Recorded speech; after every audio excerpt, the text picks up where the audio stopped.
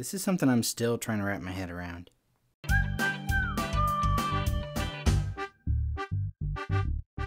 Hey guys, it's me again, Douglas, and today I want to talk to you about prayer. And I want to talk to you about the power of prayer. Because prayer is one of the most effective tools that we have in the spiritual battle that God has called us to. Now, usually when I share a story with you guys, I share something that I have learned, right? Like when I learn something, I love to share it with you. But this is something that I feel is really important, something that we should totally talk about, but something that I don't fully understand. Right? I understand a lot of different parts of it and I've read a lot from my Bible trying to trying to understand it, but this concept is something that I am still learning. And maybe I'll still be learning for the whole rest of my life. And that's the idea that there is power in prayer. But first of all, I want to talk to you about the things that I know for sure. For one, I know that God hears me and God hears you. Right? I know a lot of people who say that they're bad at praying. And if by bad at praying you mean you're not sure God hears you because you're not doing it right, you don't have to worry about that at all. You don't have to pray in a very specific way in order for God to hear you. Right? If you talk to God, He's listening. Really, I think that when most people say that they're bad at praying, they just mean they're embarrassed to pray in public.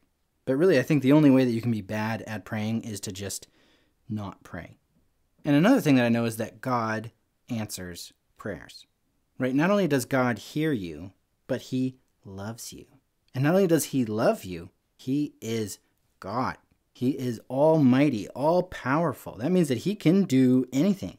So, like, even in my own life, I've seen the power of prayer. And this is kind of an embarrassing story because people are like, you know, people want to know about miracles, and I've seen a miracle. A miracle has happened to me because of prayer. But usually, you know, when people think of miracles, they think of something, you know, big and epic and awesome, like, you know, parting the Red Sea, or walking on water, or bringing somebody who is dead back to life. My miracle story is much more humble and honestly a little bit embarrassing, but I want to share it with you today. So, like my family, a few years ago when I was younger, we went on a missions trip to a different country. And we went to a part of that country where they were very, very poor. And we were helping a church down there rebuild their building. And also, we were going and we were telling people about the good news of Jesus Christ.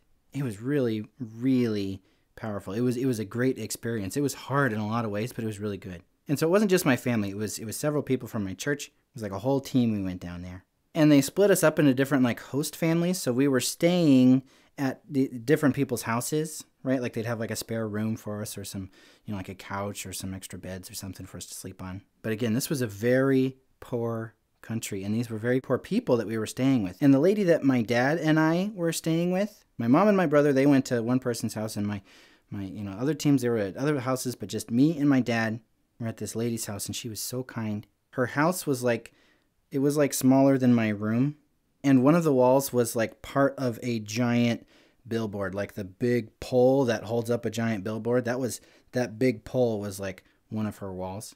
And she had a bathroom and a kitchen and like a living room that was also like a bedroom, where her bed was on one side and me and my dad, we had beds on the other side.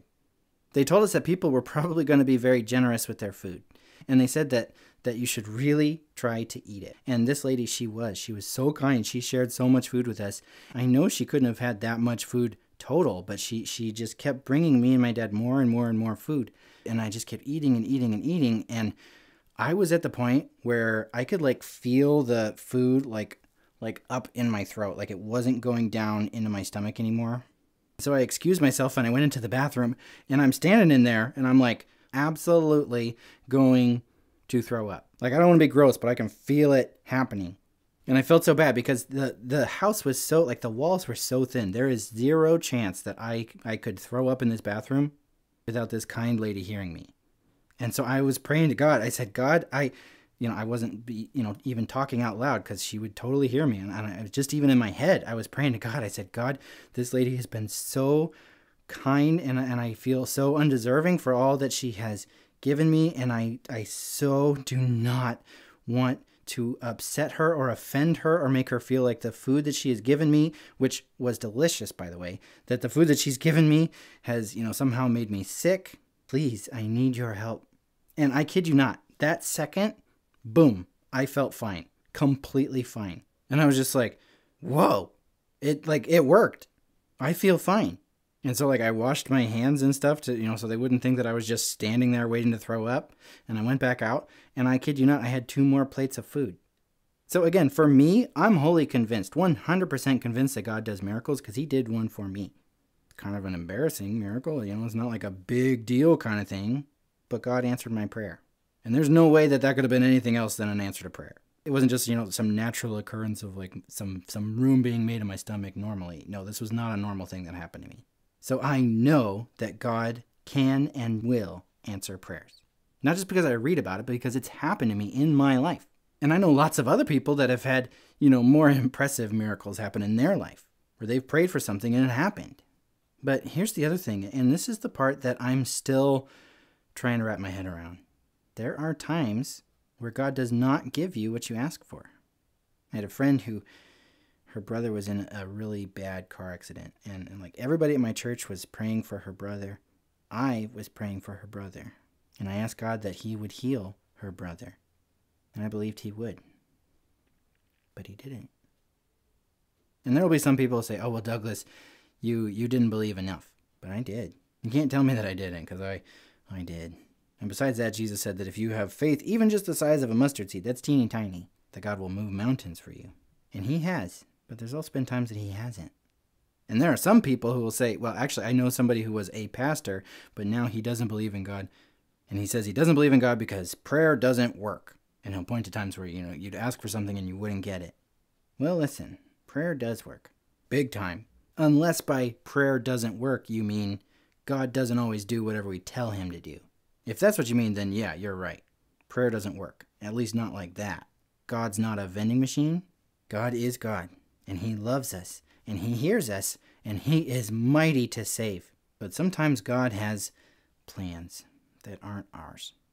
And I've heard people say that God always answers our prayers. Like it's always either a yes, a no, or a not yet. And I think for the most part that's true. But I also think that sometimes that idea can kind of diminish who God is and what he can do. Because it kind of gets the idea of like, well, you know, yeah, you can pray to God and maybe he'll do what you want, but, you know, maybe he won't. Hard telling. And then also there's this idea in scripture where God knows what you need even before you do, right? Like he knows what you're going to say before you say it. So one of my questions is, you know, like why pray at all? And this is a question that I have, you know, like in my head, but it's also a question that I have like in my life. Like my life kind of reflects this tough thing. I don't pray near as much as I should because I kind of feel like, oh, well, you know, God already knows. Or I think, well, you know, God's got a big plan and God's big plan is going to happen whether I ask or not. And that is an attitude that I have in myself that I know is not good. I can look at scripture and I can see that that's not the way I'm supposed to be. The Bible says that I should pray continually and says that I should ask with confidence. I should pray boldly and I should pray often. And it's not like I should pray boldly and I should pray often because, you know, how dare I not do that? You know, it's not like a it's not like a I'll get punished if I if I don't pray enough or if I don't pray with confidence. But bold and constant prayer, that's the way to a happy life. It is. And that's the way to a strong relationship with God. At least that's part of the picture. And so for me in my life, I'm trying to pray more often and I'm trying to pray with more confidence, more boldly. And I hope you will too. And there have been a couple of passages that have been very encouraging to me in, you know, trying to wrap my head around the power of prayer. One of them is, you know, the passage about Shadrach, Meshach, and Abednego. Like they were told, if you don't bow down to this golden statue, you're going to be thrown into a fiery furnace. And they told the king, they said, Our God can save us from the fiery furnace. And, you know, it turns out later, he did. But they said, But even if he doesn't, we're still not going to bow down. And the other passage that's really been helpful is the one where Jesus is, you know, he goes off to the garden and he is praying to God before he's crucified. He knew what was going to happen to him, he knew how hard it was going to be. And he essentially said, God, if there's any other way that we can do this, let's do it that way. But the real important line there is he said, But not my will, but your will be done. And I think Jesus' prayer was a model for us to follow. You know, both Shadrach, Meshach, and Abednego and Jesus, they prayed for help. And for Shadrach, Meshach, and Abednego, things turned out the way they hoped they would. And even though Jesus was crucified, even though Jesus died a horrible death, they went the way he hoped they would too. not my will, but yours be done. There is a fine line between like confidence and submission, a sweet spot, a sweet spot that includes both perfect submission and perfect confidence.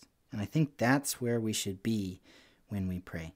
I think if we're in that spot, it affects how we pray. I think that if we're in that spot, that whatever we ask in Jesus' name will be given to us. I think that if we have great confidence but little submission, I think that when we pray, we're just going to get frustrated because we'll pray for something confidently, but then it won't come. And then we'll think, bah, God doesn't care, or God doesn't exist, or whatever. But I also don't think it's good for us to, you know, pendulum reaction the other way where we're just submissive, right? We're just submitting to God. And that's kind of where I've ended up, where it's like, I know that God is sovereign. I know that God has things under control, and that whatever happens is part of God's plan. I think that's fine, but I think that if I'm just over there and, I, and I'm not praying with confidence, I'm going to be missing out big time. I'm going to be missing out on the big things that that God can do through me and my prayers. You know, if you're all confidence, you might ask for something that is totally against what God wants for you. Something that's against what God wants for you and what God wants for the world. And God will just straight up say no. I'm pretty certain that if you confidently ask for, you know, laser vision in Jesus' name, you're not going to get it. I think that the more we submit to God, the more that we learn about God, the more that we talk to Him and, and build a relationship with Him, the more we will know what to pray for and how to pray for it. Again, like I said, it's not like you, you need magic words or whatever. If you talk to God, He hears you. God hears you, He loves you, and He is powerful, and He has a good plan for you. And like I said, I, I don't fully understand the power of prayer, but I'm learning, and I hope you'll learn with me. Let's draw close to God. Let's submit our lives to Him and to His will. The closer you're following God, the easier it will be to see His will, see what He wants. The prayer of the righteous is powerful and effective. So let's submit to God, knowing that He is all powerful. He understands everything. He knows what we're going to say even before we say it, and His plan is perfect. But let's also pray with boldness. Let's take an active role in the amazing plan that God has for us and for the world. Let's pray with boldness and with confidence and all the time. I might not fully understand it, but I can tell you this there is power in prayer. Hey guys, I hope you like this video. And yeah, like I said, I usually like to talk about something that I, you know, feel like I've kind of wrapped my head around, something that I, I have a, a pretty good grasp on. Because it seems kind of silly to teach about something that you don't fully understand, but I do also think that there's something valuable about coming alongside one another, right? Building each other up. I don't share what I'm learning because I understand everything. I share what I'm learning because we're all in this together. We're all a part of the body of Christ. And I think that our triumphs can, can build each other up just as much as our struggles can. I hope you'll join me in making an effort to pray often and to pray with confidence, fully expecting that God can and will answer our prayers. There's power in prayer because our God is powerful and He loves us very.